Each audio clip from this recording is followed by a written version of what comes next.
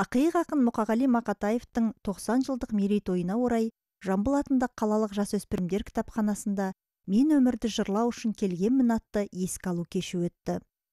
Кешті кітапхана қызметкерлерінен құралған жастар театры шағын қойылыммен ашты. Бақыт деген сенің бала бақытсыз ақ бақытты ақын өлеңдерін қылқаламмен сөйлеткен суретші майса ықыласова өз туындыларын көпшілік назарына ұсынып аманқос мектептегі ақын жайлы естеліктерімен бөлісті. Мұқағалидың өлеңдерінің ішінде көбіне жаңа лирикасына арналған ә, суреттерім көп.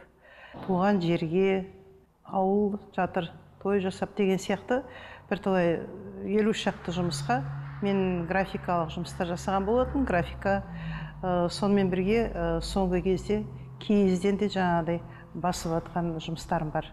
Мерекелік іс шараның басты мақсаты жас ұрпақты мұқағали поэзиясымен сусындату ақынның сан қырлы шығармашылығын кеңінен насихаттау.